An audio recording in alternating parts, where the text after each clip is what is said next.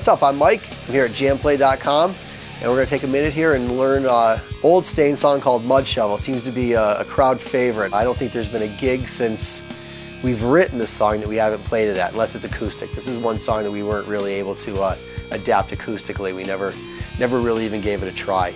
In fact, this is the only song we did a uh, self-release record back in 97 uh, called Tormented. And this is the only song that made it from Tormented to Dysfunction, which is our debut record on Atlantic Records in 99. It was actually ended up being our second single, but kind of our first, because we had our first single, which is a song called Just Go, that uh, was starting to do something that a station in California started playing Mudshovel, and everybody hopped on that bandwagon and Just Go kind of went, it just went, it was done. And uh, Mudshovel stuck around for a while, and to this day, I mean, you still hear people uh, yelling for it. So let's learn it. The tuning for this song is a, a, tuning that I actually use quite a bit. And it starts off with, again, this is a baritone guitar. This is, you know, my model guitar, which is basically, when you get it, it's B to B uh, without a high E string, so it adds a low B string. From the fifth string down, I do this one like, a, again, like a drop D guitar. And then what I do is I take the B string and I tune it down to G sharp. Um, and I'm, I'm, down a half step again, like it's, I always down a half. So the actual notes, if you're gonna tune is G sharp, C sharp, G sharp, C sharp, F sharp, A sharp. So you get, and you get the, you know, like a root fifth type of chord. So the riff to this song is basically just sliding a harmonic and uh, picking 16th notes. I start in between the uh, third and uh, fifth fret on the fourth fret, right in the middle.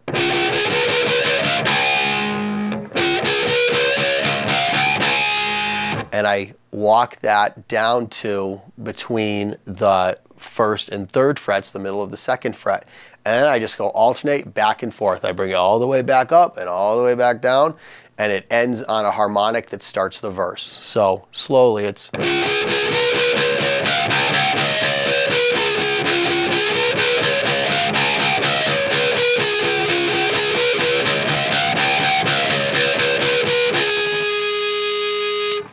So up to speed, it'd be.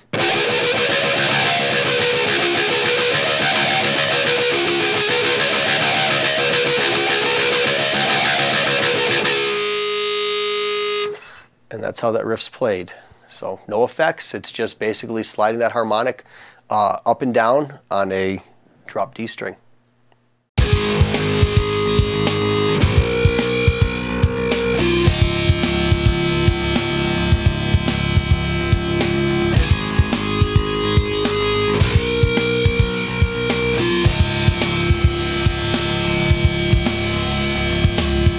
So after the intro riff, uh, we end on harmonic that starts the harmonics that go for the first half of the verse, which is the first one is on the third fret, on the fifth string. Then I go to the second fret on the sixth string, fourth fret, the third fret. Those harmonics are a little tricky to get get to ring out. You need to you definitely have a little bit of gain on your amplifier, especially when you get the that one gives me a hard time every now and again. I hit a clunker. Always hitting clunkers. So anyways, this is the way the harmonics go in the verse. You'll, I'll come out of the riff one time through and I'll do the harmonics.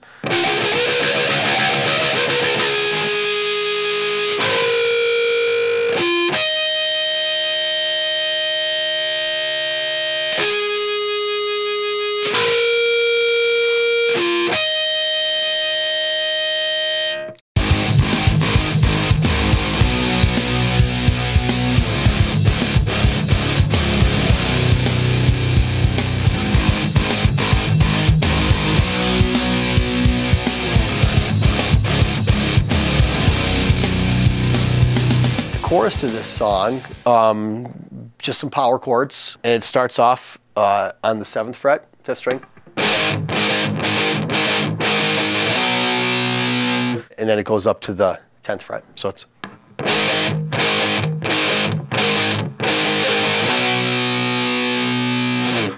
And up to speed, it's. And then it goes down to a you know, a fifth type of chord starting mm-hmm. on the fifth fret. on the sixth string, and that slides down to the third fret. So it's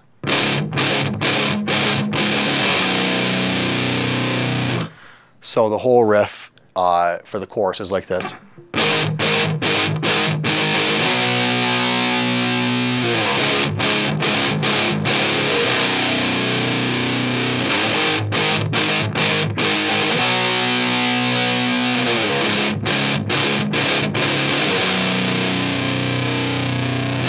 So let's talk a little bit about what the right hand does in the chorus chords to get the chords to sound correct. So um, it's an alternate pick, picking, so it's a real quick, and then you mute the string, so it's, and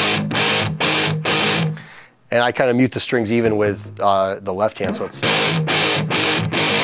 kind of do both, put the hand down and do that. So, and then a, a quick alternate uh, strum to get the chord to hold up to hold out the last chord. So it's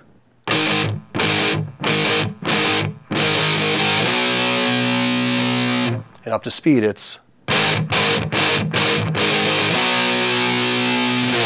and it's the same picking on the lower part. So it's so, it's, so together when you put it together it's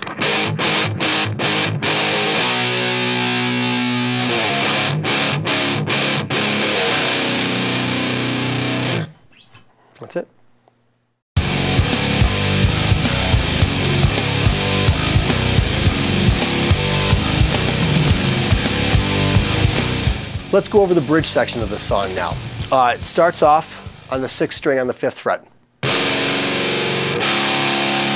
the open D, so it's sixth fret, fifth string, open sixth string, Again, like a fifth type of chord starting on the third fret, back to the open sixth string. So that's the riff.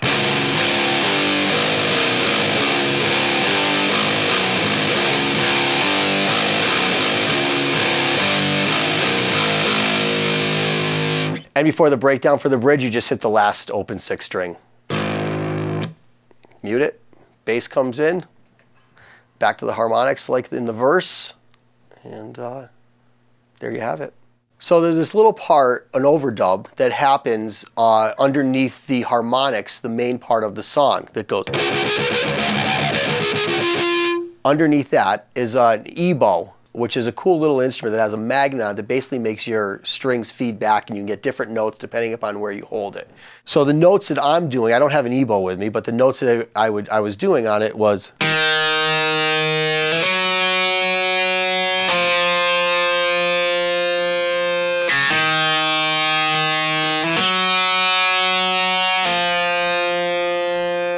And you can hear that going on underneath the harmonic part. And the thing is with an ebow, when you buy your ebow, if you do, it comes with a little sticker that has a pick like this with a circle and a line through it because you don't use the pick with an ebow. You just hold it on the strings and let the and you just move your fingers and you just hold the ebow and you move it to get the sound that you want. It's cool, it makes some pretty cool effects. It's on a bunch of Staind songs. So if you're interested in hearing how the song originated, because it's definitely a different version of it, I'm, it's probably on YouTube, I would imagine. But if you uh, maybe look for uh, Mudshovel uh, on the Tormented record, the music's different. The same harmonics are there, the chorus is different, the bridge is different, and uh, it's more of a, a metal type version. We kind of rewrote it a little bit uh, when we when we did it for Dysfunction. So you can kind of hear there's, there's two different versions out there. I'm not sure if a lot of people are aware of that. So check it out and uh, let's try and play the whole song now.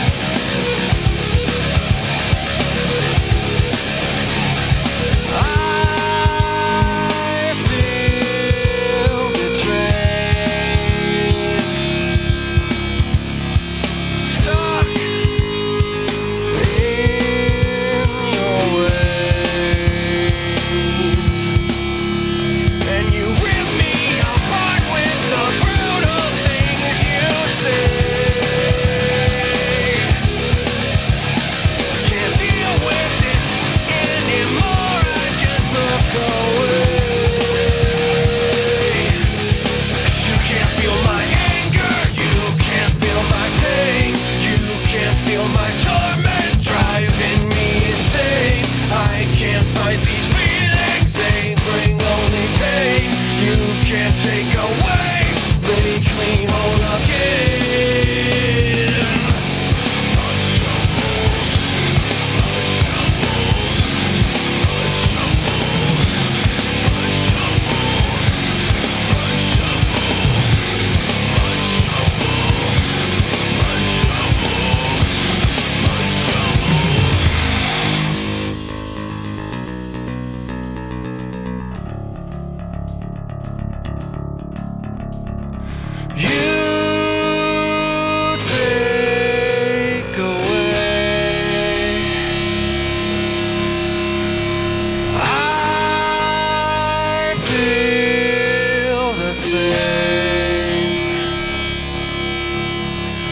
all these promises you promised.